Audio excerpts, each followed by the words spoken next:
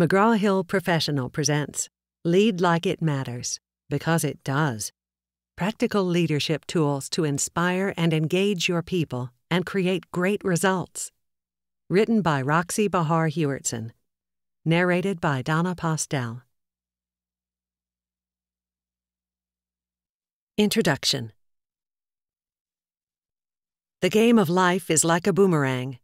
Our thoughts, deeds, and words return to us sooner or later with astounding accuracy. Florence Shinn. Fact 1 People are messy. Groups are messy. These truths are never going to change. Fact 2 We all know what good and bad leadership looks like and feels like. These truths are unlikely to change. Fact 3. Today, we continue to have a few great leaders, some pretty good leaders, and bucket loads of people in positions of authority who are mediocre, incompetent, or worse at leadership. These truths can change. If you doubt Fact 3 even a little, consider the mismanagement, lack of leadership, corruption, pain, suffering, and financial disasters that failed leadership has caused in Lehman Brothers, British Petroleum, the U.S. Congress, Syria, AIG, Enron, WorldCom, Fannie Mae, J.P. Morgan, the Catholic Church, Penn State. The list goes on and on, with new revelations about failed leadership every day, in every walk of life, with a trail of tears following each one. You would not let a surgeon operate without her proving that she had the necessary skill set to preserve human life. Yet, even though we know that leaders have a significant impact on people's lives and well being, we allow them to operate in their sphere of influence without having to prove that they have the skill set or the integrity to lead anyone anywhere. Naming a star player as the new coach of the rest of the players is an act of madness unless that player has the leadership skill set and attitude needed to make that switch. When it works, it is often by luck, not by design. This does not make any kind of good business or common sense. We need a revolutionary approach to today's global leadership crisis because business as usual is not working and will no longer address the needs of our world. We all deserve far better than what we have gotten for hundreds, if not thousands, of years in our businesses, houses of worship, higher education, governments, public schools, health care, really everywhere. We need a new norm and culture within leadership that says if you are going to lead other people and mess around in their lives, you must first prove that you have the skill set to perform that essential part of your job well. Let's take a quick look at reality. Here is a sampling of what has been reported about today's workplace and workforce. In a recent Development Dimensions International DDI global study, Driving Workplace Performance Through High Quality Conversations, What Leaders Must Do Every Day to Be Effective, DDI assessed thousands of senior and frontline leaders over 10 years based on observations of actual leadership behaviors. The 2013 study validates how important emotional intelligence competencies, particularly self awareness and social skills, are in human interactions. Here is a sampling of the eye popping results. Only 11% of senior executives and 10% of frontline leaders are effective in conveying performance expectations and facilitating clear agreement on next steps. Only 10% of senior executives are highly effective at inviting ideas from others, and only a paltry 7% do a good job of gaining others' commitment. Only 6% of frontline leaders are highly effective in asking questions and facilitating involvement and only 11% do a good job of demonstrating interpersonal diplomacy. Only 24% of frontline leaders are highly effective in responding to cues for maintaining others' self esteem, and only 38% demonstrated empathy. Only 5% of senior executives are highly effective in disclosing and sharing their thoughts and feelings with others, one of the most powerful methods of building trust. A large 2012 manpower survey said that a whopping 65% of employees are dissatisfied at work. In June 2013, the results of a comprehensive study of 150,000 full and part time workers during 2012 from Gallup's State of the American Workplace report were reported in the New York Daily News and Today Money. The Gallup report tells us that workplace morale is horrible with a shocking 70% of Americans feeling negative about their jobs. For a deeper understanding of the economic impact of these findings, I highly recommend reading the entire Gallup report. Here are just a few highlights cited. Only 30% of employees are engaged and inspired at work. About 52% of employees are present but not engaged. A full 18% are actively disengaged or worse.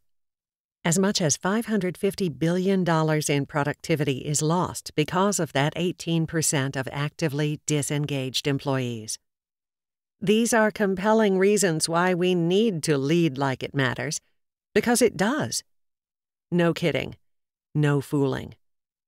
You or someone close to you has probably been affected by an ineffective or even toxic leader. You may have observed or experienced a highly dysfunctional work culture. I'm going to assume, because you are reading this book, that you want to become or remain a member of the minority of highly effective leaders that I hope will someday become the majority. There is no question in my mind that you are really good at a lot of things.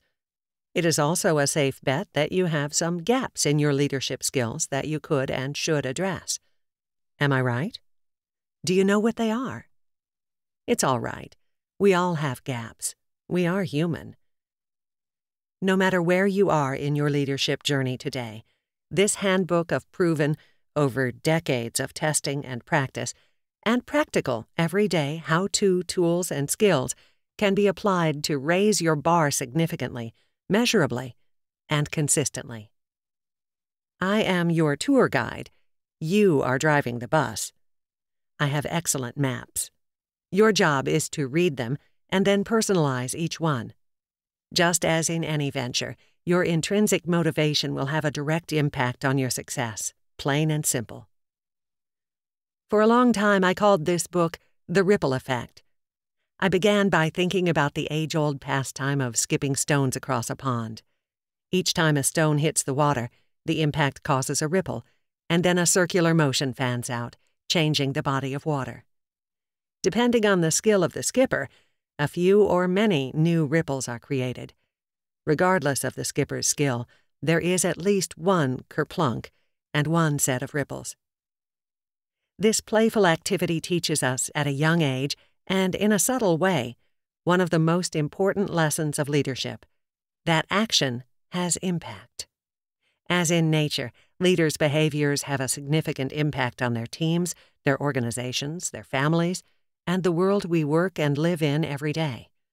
I often sum it up this way A leader's behavior creates an impact similar to that of a pebble, or boulder, landing on a pond. Everything within the pond reacts to the impact. The ripples grow and spread until they reach the boundaries of their influence. So it goes with leaders, regardless of their intent. There's more. When I observed those ripples more carefully, I noticed that they eventually returned to their place of origin. As in nature, the ripples, good or not so good, we create will come back to us sooner or later. It follows then that it is in our best interest to get this thing called leadership as right as possible. Learning how to generate a positive ripple effect must be a top priority for anyone who accepts a leadership role and wishes to succeed. In 35 years of leading, coaching, and teaching, I have not met even one person who wanted to be ineffective, incompetent, or unsuccessful. No one has ever said, Roxi, please tell me how to lower morale and make my staff disengage and become more discontented. Not one single person has retained me to help him create a toxic culture in his organization. And never once has anyone asked me to help her lower productivity and profitability. Of course, the opposite is true. People want to lead well, They care about making a positive difference within their sphere of influence or pond, no matter where they work. People want to succeed. More often than not, they just don't know how. It's not so much what leadership is that matters, it's what leaders do that matters. There are a lot of books on the shelves that talk about what good or great leadership and management is and is not. There are excellent theories, models, and studies, some of which I will share with you. But it is often difficult, if not impossible, to figure out how to integrate all that good information and apply it to your work and your life. Sadly, there is very little practical help on how to actually do the day to day job of leading other people. Most of us are not CEOs of huge Fortune 500 corporations. They have access to all the leadership training and development resources that anyone could ever want. Whether they take advantage of those opportunities or not is a different question. My goal is to help fill that gap so that you can navigate the challenges that arise every day in leadership more successfully. This is the primary reason that I wrote this book and continue to teach my courses. There is also one more reason. I would like you to help me go out of business. I am dead serious. Nothing would make me happier than to wake up tomorrow morning and discover that no one needed my help, coaching, advice, or intervention, because that would mean that every leader everywhere was putting into practice the advice and tools that he or she needed to lead well. Imagine what a different world it would be. In the meantime, within these pages, you will find in very practical terms the tools you need to liberate and empower the leader within you. Much of what you will read here about leading well, I have learned from my mentors, teachers, direct reports, bosses, clients, and students. After decades of practice and study, I am very clear about what works and what does not work. It has become my life's purpose to share what I know Along the way, I've tripped into and over many epiphanies, even been smacked upside the head by them. Let's begin with eight aha leadership insights that have helped shape my understanding of the challenges that leaders face. While some of these may seem obvious, some may surprise you. I will explain each of them in part one. Insight 1 Knowing is the easy part, doing is the hard part. Insight 2 Leading people is messy. Insight 3 Leadership is a discipline, not an accident. Insight 4 Leading and individual contribution require opposite skill sets and motivations. Insight 5 Leading is all about relationships. Insight 6 Learning the soft skills is hard. Insight 7 most change efforts fail, and they don't have to. Insight 8 Leaders create and destroy cultures. Then we'll move on to the four core masteries in which every leader needs to attain reasonable competence. These masteries will address all eight insights and more. Personal mastery. This is discovering who you are as a leader, your emotional intelligence, your style and preferences, your life purpose, values, and vision, and how you can and do impact others. This mastery will help you take an authentic look at yourself, past, present, and future. Here, we will look at your leadership style, your intent versus your impact, how you arrived in the life and work where you are today, and finally, what really matters to you. Interpersonal mastery. This is discovering how you communicate and interact with others. We will work on several dialogue skills. These difficult, soft skills are essential to successful leadership. We will focus on how to deeply listen, provide important and constructive feedback, and manage and transform conflicts. Team Mastery This is discovering how your team works and how its members work together and with you. We will focus on building teams from the ground up and or maintaining high-functioning teams. We will discover the nature and power of group dynamics, decision-making that works, delegation for development, and meetings that produce great results. You will get tools that will help you facilitate productive activities to increase team success. Culture and Systems Mastery. This is discovering how your system and your organizational culture operate. Since you and your team affect others and others affect you, we will look closely at what is happening in your culture, including a cultural assessment tool I call the CAT scan. We will explore what can happen inside systems that will blow them up or make them stronger. We'll look at a cure for fragile cultures and focus on how to successfully lead change in your system while ensuring accountability for results. Finally, we will gain an understanding of the nature of courage for yourself and how to measure it in yourself, your teams, and your organization. After decades of helping leaders with many similar challenges, my goal with this book is to focus on those areas that cause the most angst and pain for the most people, regardless of their industry or job title. While we cover more than the 10 skills I am listing here, these are the skill areas with which leaders seem to have the most difficulty. If all we do together is help you to be more effective with even one, two, or three of these, you will see an immediate return on your investment of time, energy, and the price of this book. Here are 10 how to skills you will have in your new toolbox when you finish this book. Leverage your strengths and mitigate gaps in your style and skill set. Create a compelling and effective mission, vision, and set of values for yourself and your team. Cut wasteful meetings out of your life and lead effective, productive ones. Create constructive dialogues, including managing up and delegation. Facilitate effective team building. Decide how to decide with confidence. Prevent conflicts and or address them quickly and gracefully. Learn how to assess your culture. Lead change initiatives that are not dead on arrival. Engage your employees and increase productivity and accountability. All the exercises and activities we will do together are intended to help you save time, not lose it or waste it.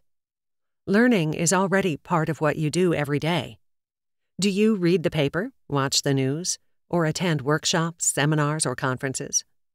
Do you read instructions on how to put together a special menu, a bookshelf, or something else? Of course you do.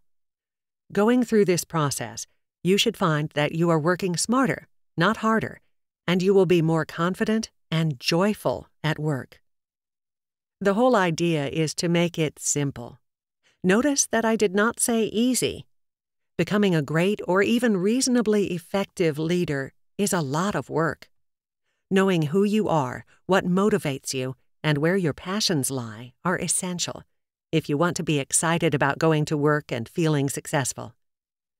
Wherever you are right now on the leadership continuum is perfect.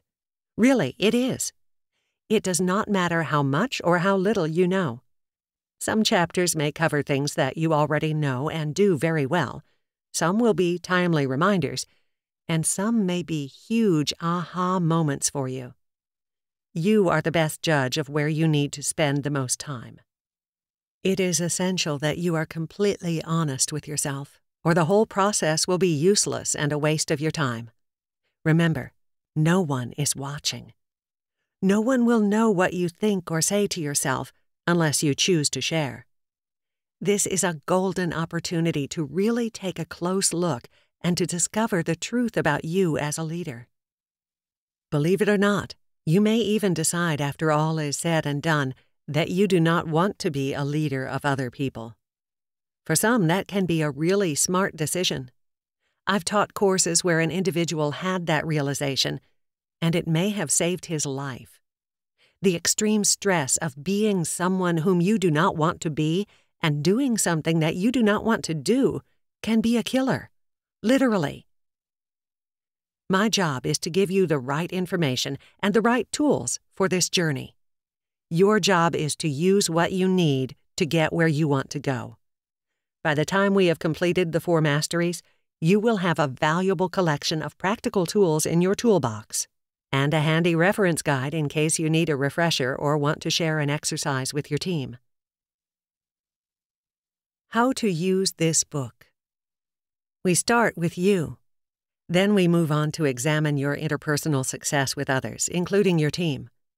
Finally, we complete the picture by exploring the culture and the system in which you work. Individual leader, team, system, in that order. The most effective way to use this book is to get yourself a notebook in which to write notes to yourself, work on the dozens of exercises, and answer questions as we go through each chapter. Because each chapter builds upon the one before it, it is best to make the trip through the book in the order in which the chapters and exercises appear, rather than skipping around. After your first reading, skip around all you like. Mark the pages and chapters that you would like to revisit. If you would like to check out my online leadership resources, just go to www.askroxi.com. You'll find free chapters of the course, a quick leadership style assessment, and access to my monthly newsletters. I want to thank you for picking up my book. To that end, you will receive 50% off the course price if you would like to enroll in my online leadership course. Just click on the Buy Now page, select Leading with Impact, and when prompted, enter in your special coupon code exactly like this Ask Roxi Leader. In the meantime, I hope you enjoy the book. Are you ready? Good. Then let's get started. Part 1 The Eight Leadership Insights. Chapter 1 What are the eight leadership insights? Insight 1 Knowing is the easy part, doing is the hard part. We are what we repeatedly do. Excellence, then, is not an act, but a habit. Aristotle. This is intended to be your leadership workbook, playbook, and handbook to help you get on with the doing part. All the rest of the insights are driven by Insight 1. Some of the best intended and least effective leaders I have known have read and could easily quote dozens of books and even more articles on leadership. They often know the buzzwords and the jargon, the latest trend in strategic planning, and the newest way to build an organizational chart. Evaluating and retaining this plethora of information in your brain is one thing. Integrating what you learn into your behaviors and actions and making it real for you and for those you lead is a much bigger challenge. Why? Because changing our behaviors is one of the most difficult feats known to humankind. There will be days when you might think it would be easier to jump across the Grand Canyon. Unlike jumping the Grand Canyon, changing behaviors is possible. To do anything new or difficult, you must be truly motivated, and you must know exactly what you want to change. You need to identify what success looks like for you, not someone else's definition, but your definition. You also need to develop an ongoing focus, along with built in, reliable sources of feedback about your progress. For example, if you wanted to lose or gain 20 pounds, you would need a scale and or clothing of a different size to provide you with a feedback loop that would let you know how much or how little progress you were making. It's the same with any goal, and certainly with any behavior change. You need to determine the right metrics, and you need to ensure that you are receiving feedback on your progress. Once you combine knowing and doing, you are well on your way. Don't give up on something that matters to you. You can expect to slip and fall, you will screw up. I don't know anyone who rode a bike perfectly the first time. As you are learning and doing, be gentle with yourself. Don't expect perfection. Celebrate your progress because each step, no matter how small, gets you closer to your goal. Insight 2 Leading people is messy. I will pay more for the ability to deal with people than for any other talent under the sun. John D. Rockefeller. When we accept the role, assignment, or mantle of leadership, it is important that we know what we're really getting into. People are, and will always be, unpredictable. There is no plain vanilla workplace or workforce. Each person is unique, and that means that leading people is complex, fun, interesting, frustrating, and yes, messy. Life happens, and it's full of triumphs and tragedies, any of which can happen to any one of us at any time. We can't predict surprises. The human emotions that show up at work can be confusing and disturbing to leaders. What if someone cries in my office? What if someone is threatening or screaming? What if someone is constantly telling jokes about someone else? And so on. Personalities, motivations, and styles are all over the map. Leaders have to be ready for just about anything and everything. Like it or not, and believe it or not, all people, unless they are suffering from true brain anomalies, bring their emotions to work. People are 24 hour thinking, feeling creatures. They can, and often do, behave differently from our preconceived perceptions and or assumptions about them. Our values drive our decisions, which generate emotions that often show up in our behaviors. It's a knee bone connected to the thigh bone kind of thing. Emotions, both happy and unhappy, are contagious and can spread like wildfire. Anyone who has been around several babies in the same room will have noticed that when the first baby begins to cry, most, if not all, of the other babies, one by one, will begin to whimper. This reaction doesn't disappear when we become adults. We still catch fly-by emotions more quickly than we catch a cold. No matter how much some people think that feelings are supposed to be kept out of the workplace, emotions leak out, from men and women, young and old, contained or gregarious. The idea that we can keep feelings out of the workplace is a lot of bunk. Besides, we want people to feel when it suits us, right?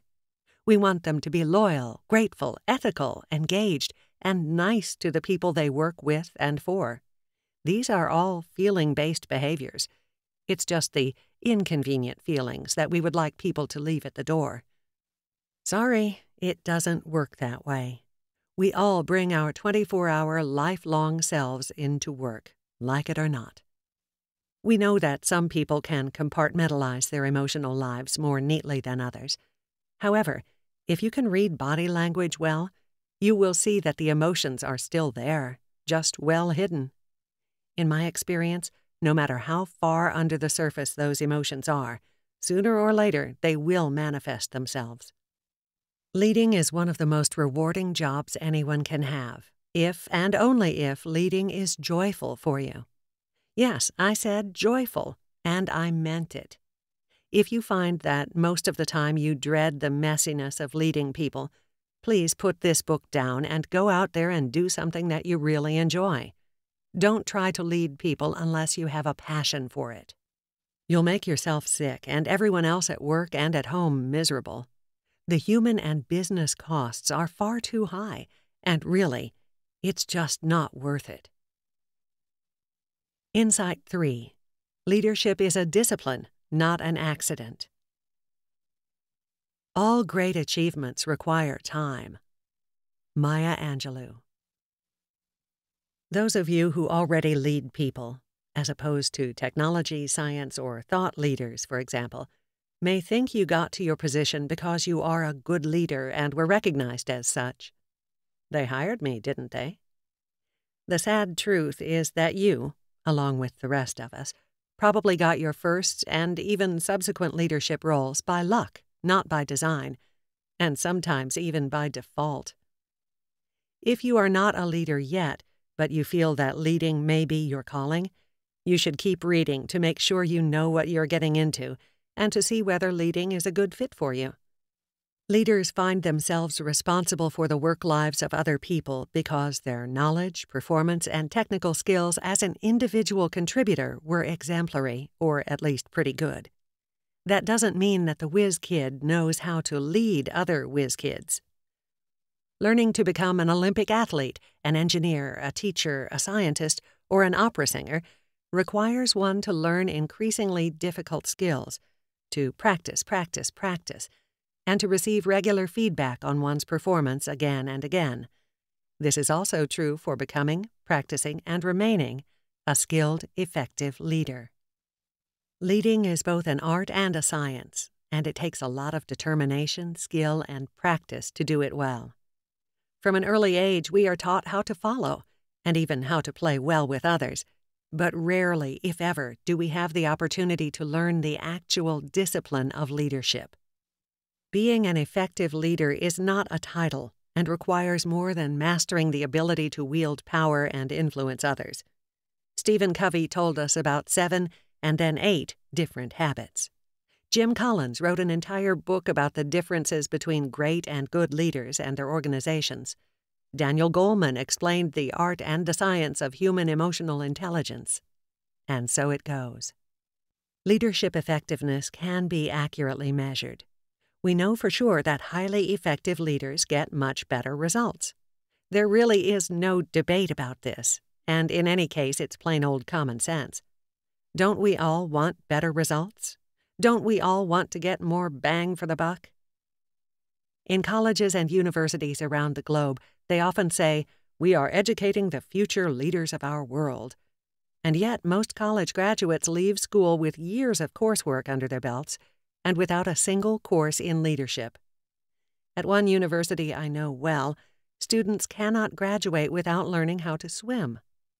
This fact made me wonder, though, what would happen if a bunch of swimmers were in a sinking ship? Would they simply swim their hearts out to reach safety on their own? Or would any of them be able and willing to lead others, maybe even non swimmers, to safety? When we examine leadership in higher education, and I have, it is abundantly clear that we are not training our young people in the discipline of leadership. Too often, we are not even hiring great leaders to lead our educational institutions. People move from professor to chair to dean to provost to president, but they are rarely, if ever, evaluated on their leadership ability or effectiveness.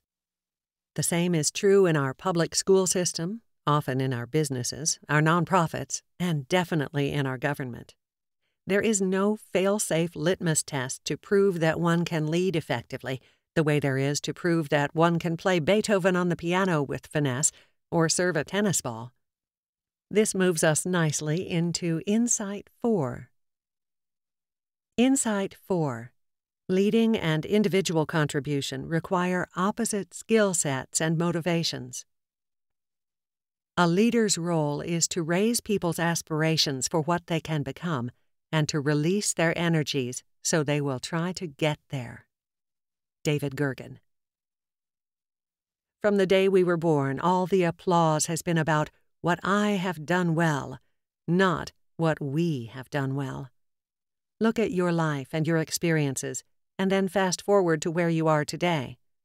I think you'll agree that for most of your life, your personal performance generated the lion's share of your positive rewards or negative consequences. It wasn't a group of people, it was you, you, and more you. The exception is teamwork within or outside your family. If you have been a member of a real team of any kind, you may have picked up some insight into the way teams work and even into the way good leadership works. Whether you were on a great team or a lousy team, you learned something about leading and teams. Unfortunately, few people integrate those lessons when they become leaders at work. The fallback position for most of us is what we know best and can count on the most and that is me. The skills and attributes required to lead people successfully are entirely opposite from the skills and attributes required to be a successful individual contributor. The work, rewards, and impact are 180 degrees from each other. Consider this if the roles and skills weren't so opposite, it would be a walk in the park for someone to move seamlessly from being a great violin player to being a great conductor. Knowing how to play one instrument flawlessly requires one skill set. Knowing how to create harmony from a symphony of people playing many varied instruments requires additional, different, and opposite skill sets. In the first case, the violin player is responsible for his performance. The conductor is responsible for knowing what the violin player is capable of and is meant to do, and understanding the job of every other performer in the orchestra. It is also the conductor's job to get the most out of each person and his or her instrument so that everyone will blend well together to produce magnificent music. While the soloists may be appreciated, the audience will remember the performance as a whole. The leader is responsible for the quality of the results. She and they succeed only when the entire orchestra succeeds.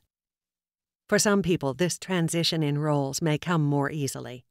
For most of us, however, it's not a seamless shift because we have not learned how we can most effectively lead others to do their best work. We tend to come at leadership as though it were no big deal. Hey, I'll get the hang of it. It's just like falling off a log. Or we may consider leading as just another line on our job description, equal or even subordinate to all the other duties and responsibilities listed there. The supervisor role is slapped on, and suddenly you find you still have most, if not all, of your old job, and now you are expected to help others create good results. There might be time cards to approve, vacation schedules, health issues, and messy interpersonal conflicts to deal with, all without getting much, if any, information about how to manage any of those new responsibilities gracefully. Talk about setting up people to fail. This is rarely intentional, and nevertheless, it happens far too often. Leading others is an emotional and intellectual seismic shift that will quickly separate effective leaders from ineffective ones. Making the transition from being an individual contributor to being a leader can seem as difficult as swimming from New York to London alone without a life jacket. After reading and working with this book, I hope you will feel that you are not alone, that you have a lifeboat as well as a life jacket, and at least one friend cheering you on. How can you make the leadership leap gracefully, you might ask? Of course, I'm going to tell you to read my book and do every exercise in it at least once, if not multiple times. Here are some other suggestions. Take a really good leadership development course. Find a willing and seasoned mentor who is a good leader. Observe other good leaders around you to see how they behave and what they do. Observe bad or mediocre leaders around you. And finally, Regularly ask for and listen carefully to constructive feedback from your direct reports, your stakeholders, your peers, and your boss. Get out of the weeds and lead. When you have your entire team fired up and producing great results, you can be far more strategic, including ensuring a sustainable future for your pond. At long last, there will be time and space for you to be proactive rather than reactive. When you get it right, you will be amazed at how much more time you have to think, to create, and to have fun at work. This is not a wild theory, an empty promise, or even wishful thinking. It's real, and it's a beautiful thing. Insight 5 Leading is all about relationships. A major reason capable people fail to advance is that they don't work well with their colleagues. Lee Iacocca. Let's get to the heart of the matter. If no one is following you, you aren't leading. You can manage tasks, schedules, money, projects, budgets, and spreadsheets. Managing people well means leading them where they didn't know they could go. You can do that only if you have good working relationships and of course, that requires respect and trust. No matter what I'm doing coaching, teaching, or facilitating I say this to everyone it's all about relationships. There are few, if any, people around the world who want to or are able to live and work entirely alone. Even those who are self-employed and or who work on their own must interact with other human beings in order to get paid, eat, have shelter and clothing, move from one place to another, and so on. That deep human connection reflects our basic primal and tribal needs. We believe that without one another, we will die. We believe this because it is true. There may be wars, famines, earthquakes, tsunamis, genocide, disease, and other such situations in which we die either because of one another or because of nature. But unless we manage to wipe out the entire human species, we will keep finding ways to utilize our combined skills to survive and thrive. Humans have done this for tens of thousands of years. I think it's safe to assume that we won't lose our drive to survive any time soon. The question is not if we will have relationships at work. The question is what the quality of those relationships will be. Leaders must understand the critical part they play in the ecosystem that they affect and the well being of what I fondly call our responsibility pond. This is where our leadership ripples are most strongly felt. When you are a leader, you create, model, and nurture, on purpose or not, the norms, culture, and environment for everyone in your tribe. You will sustain and strengthen them, or you will weaken, sicken, and even kill them. Understanding this reality is a huge wake up call for many leaders, and in my opinion, not a minute too soon. We are not alone. I'm not talking about UFOs. I'm talking about the fact that we are all connected in ways that we are aware of, many ways that we take for granted, and even more ways that we are not aware of. Not only do we need one another, but we have a dramatic impact on one another's well being emotionally, physically, intellectually, and spiritually. There is no escaping this. I've already mentioned that emotions are contagious. We don't need dozens of research papers to tell us that. Just as yawning and laughter catch on, so do optimism, creativity, a can do attitude, and trust. The flip side is also true. Doubt, negativity, fear, and anger are highly contagious. When you are leading, you must pay attention to which emotional virus is rolling around your pond. Is it healthy or sick? Did you start the epidemic or contribute to it? Do you have the antidote to cure it if needed? As Leroy Eldridge Cleaver said, you're either part of the solution or part of the problem. When you are the leader, you need to be part of the solution. Of course, emotions aren't the only things that are affecting your pond. Physical, mental, and spiritual energy is floating around in there too. It's quite a soup. When we explore culture, we'll look at the impact of relationships and culture on the whole system.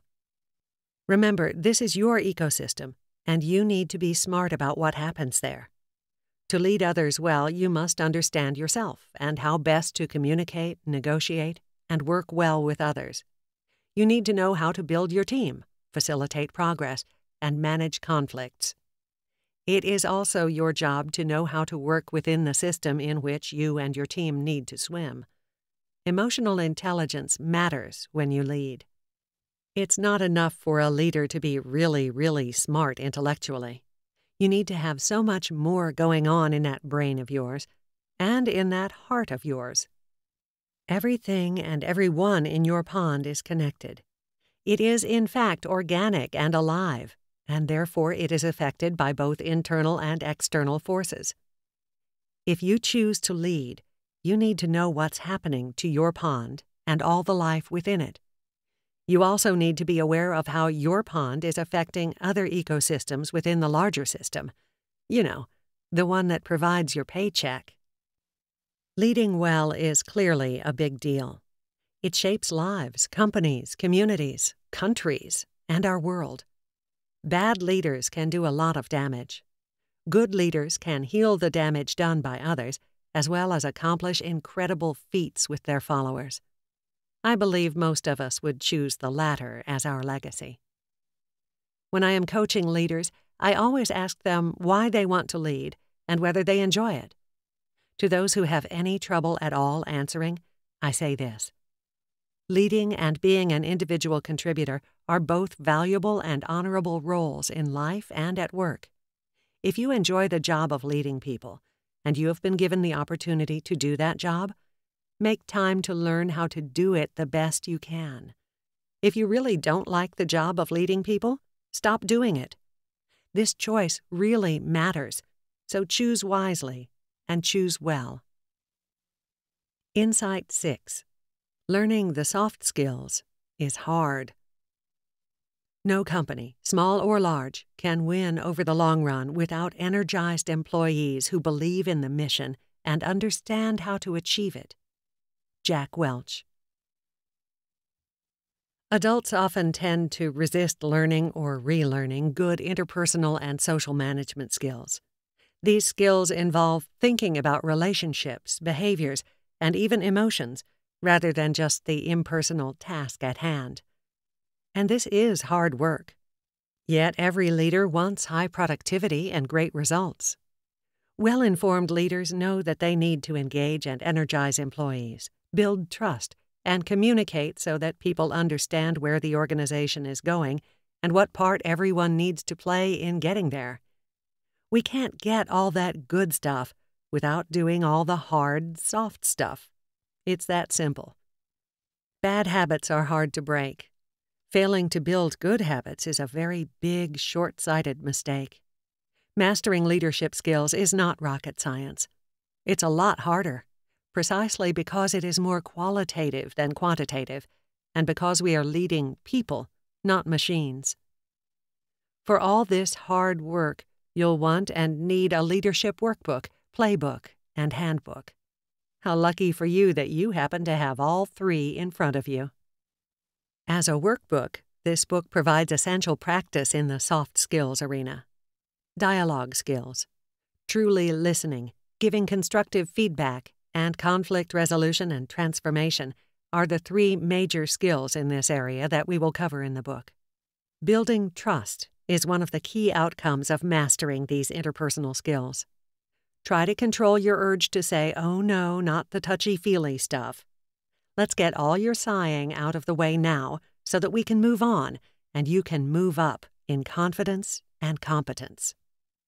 Besides, it's just you and me here, so who will know how you got so leaderly smart?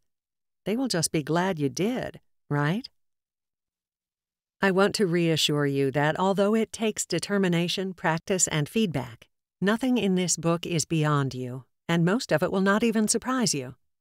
Yet, as Stephen Covey observed, and I wholeheartedly agree, what's common sense just isn't common practice.